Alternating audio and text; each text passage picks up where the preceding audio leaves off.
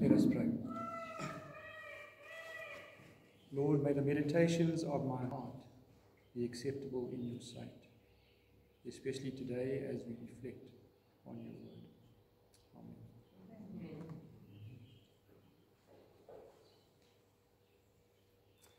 Sometimes it is easier to stay in bondage in the Egypt you know than to believe in the promise of a Canaan you cannot see.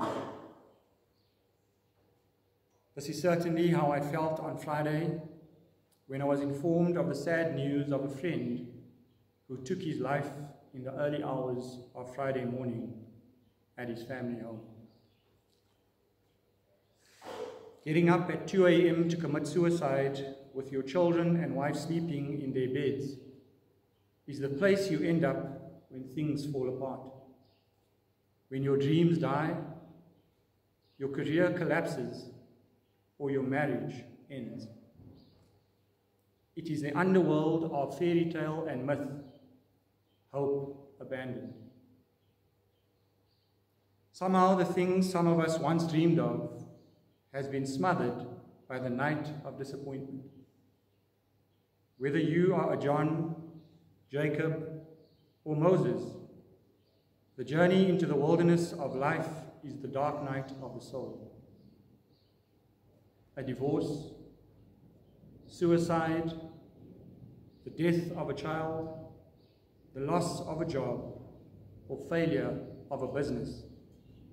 These are deeply human and universal experiences that meet us all on the journey of life. It is the terminal sickness of a child or the despair and horror you feel when you have been profoundly betrayed. It is where we are when we don't know where we are or what we are doing.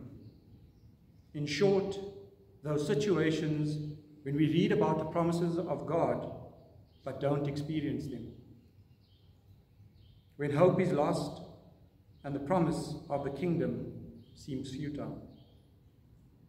It is in times like these when the ocean of grief is bottomless and family and friends are few.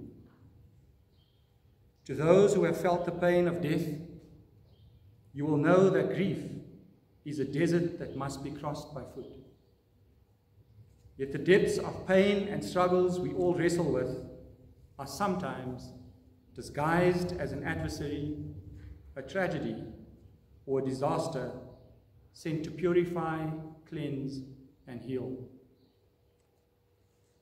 At times, the human experience can make us feel divine or damned, blessed or cursed, as we navigate the two mirrors of life, bringing either pleasure or shame to those who have fallen in search of redemption.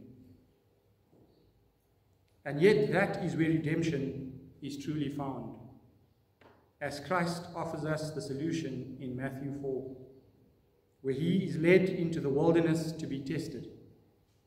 And let me suggest, in testament to the exactitude of that story, 40 nights and 40 days starving alone in the wilderness might take you exactly to a place of desperation and destitution.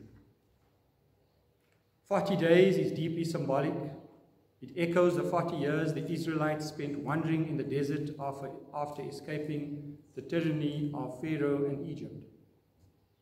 40 days is a long time in the underworld of dark assumptions, confusion, and fear. It is long enough to journey to the very center of hell itself. But as we read in the gospel today, the voice of hope is calling to you from the wilderness telling you the season is changing, that darkness and death in your life will initiate the coming of light and truth. Today's readings tell us to see beyond what our eyes can see, beyond the pain we sometimes hold so tightly onto. It is the call to run toward the things we fear rather than away from it. It is the call of the one who made us to confront the underworld of despair, where the dragon and the gold guards eternally coexist. It is the call to forgive the unforgiven in our lives. It is a call to heal. In those moments, God is saying, Still believe. Still believe in what I told you. See beyond your eyes. Continue to believe in the dreams you once had. God is saying that your mountains will be made low and your valleys will be raised up. That those things that once bound you and continue to follow you into the Red Sea of your experiences will not emerge with you. God is saying that if you persevere, you will emerge cleansed, refined, and healed. Sadly, the real tragedy of our lives is not death itself, but rather the tragedy of dying without ever knowing why you lived. It is having died without ever knowing life. The real tragedy is the acceptance of waking up every morning, getting into the same car, getting stuck in the same traffic, going to work at the same place you hate, with people you can't stand, to get paid far less than you are worth. Too many of us go through this endless cycle of ever knowing our purpose on this earth.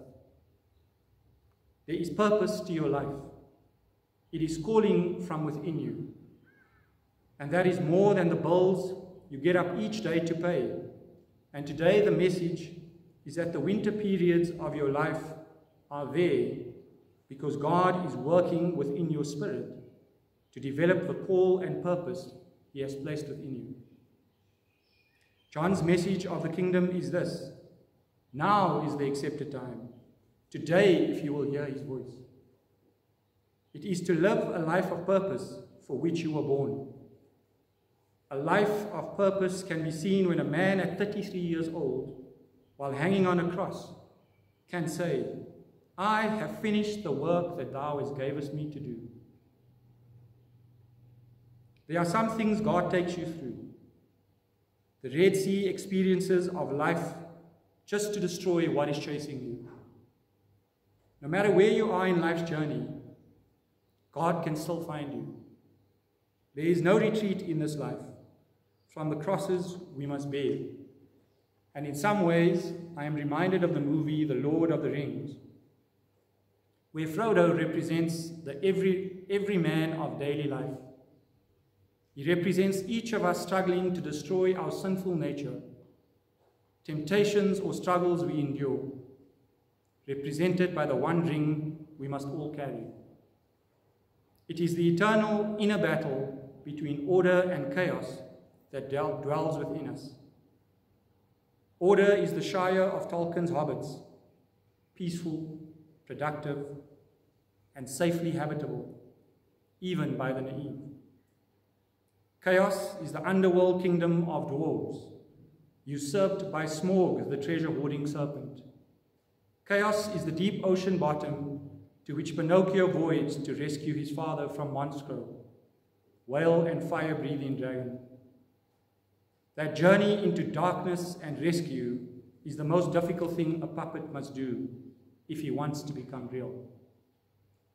If he wants to extract himself from the temptations of deceit and victimization, if he wants to take his place as a genuine human being. Maybe this is the meaning we must all pursue if we are to find the redemption and forgiveness we seek, which is to pick up the cross of your tragedy and betrayal, accept its terrible weight, hoist it onto your shoulders, and struggle impossibly upward toward the kingdom on the hill. I tell you today, there is a voice a voice is calling from inside your wilderness, asking you today to treat yourself like someone you are responsible for helping, and telling you today that inside your every wound, there too lies the seeds for its cure.